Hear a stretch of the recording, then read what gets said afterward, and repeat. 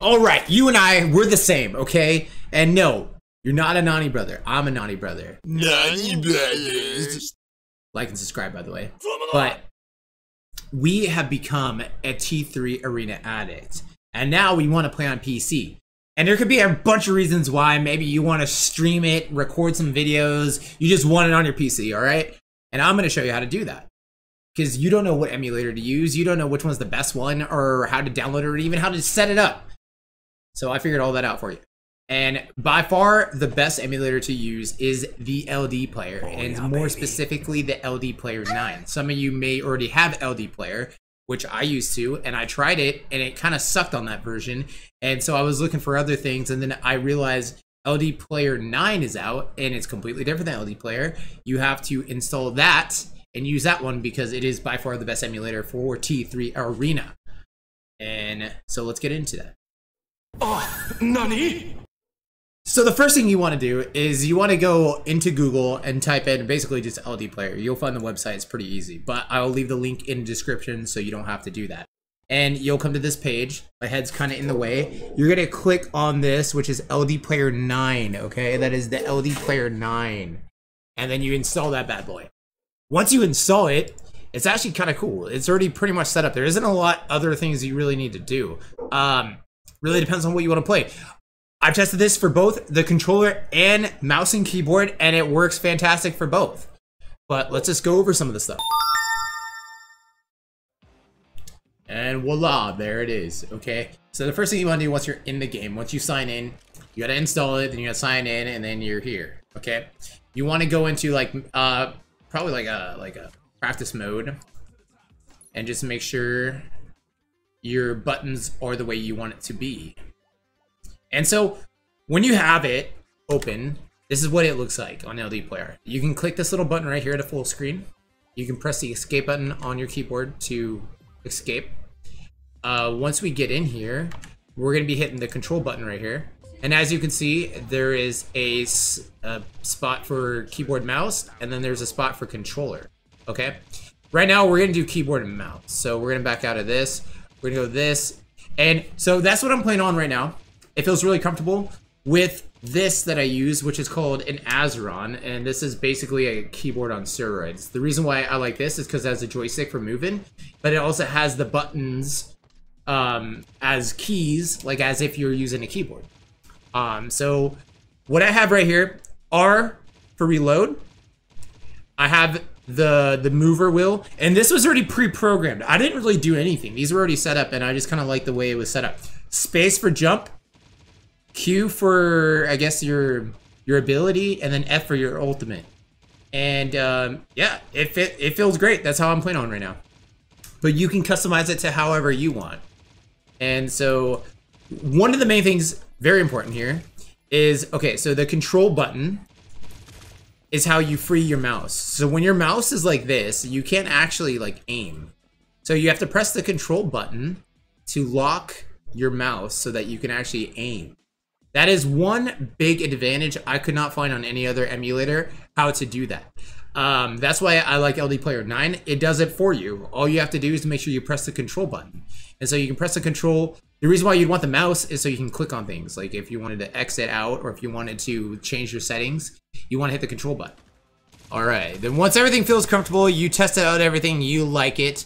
Then probably the next step you want to do, and um, especially if you're making videos or if you're streaming, you might want to take the buttons off the screen because you, as you can tell behind me, you can see the buttons on the screen.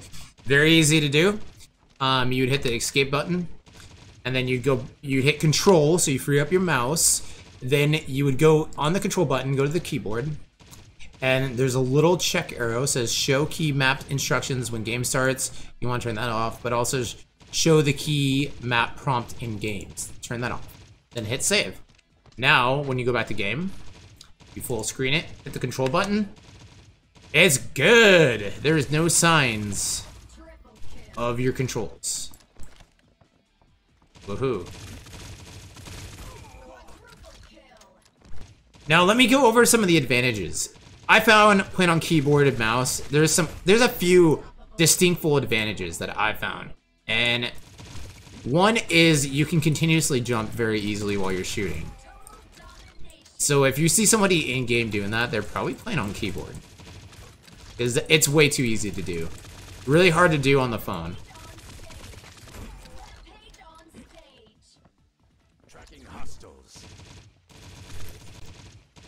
Alright, and because I'm super helpful, we're gonna test out how to do it on a controller right here and figure it all out together. So I'm plugging in my Xbox One Elite controller, has paddles on the back. It says gamepad was detected. But I don't see any controls, so maybe we have to set it ourselves. So if that's the case, let's just start doing it. Right joystick for view, that's what we want. We want a move joystick over here. Um, we want we want a tap button for reload. Make that maybe B. Um, jump button, maybe A. And then for uh, let's do right trigger for your ability, and then maybe for your ultimate, we'll do right bumper.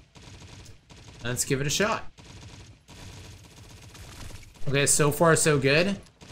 The aiming's really slow. I think you might need to program it to uh, be a little more sensitive.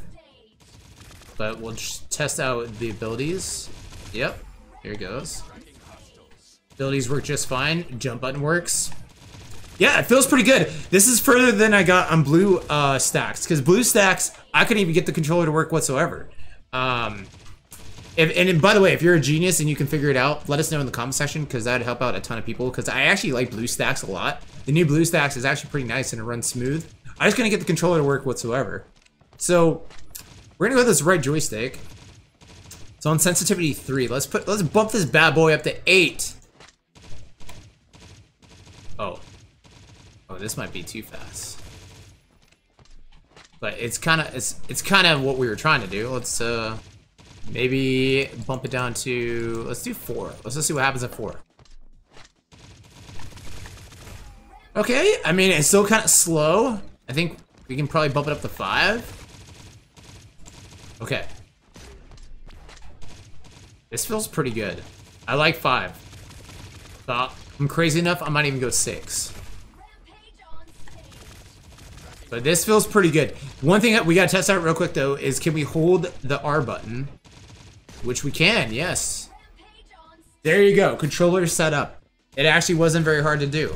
Um, so, keyboard, controller, this is why I like LD Player. It's so user-friendly to set up for both, okay?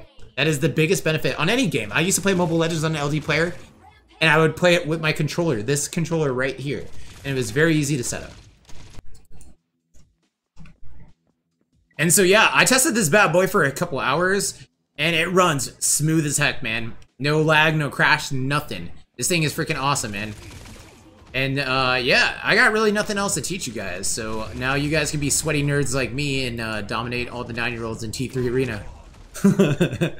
but hey, if this video helped you out, you can help me out and hit that like button, hit that subscribe button because I'm gonna be dropping some more T3 videos.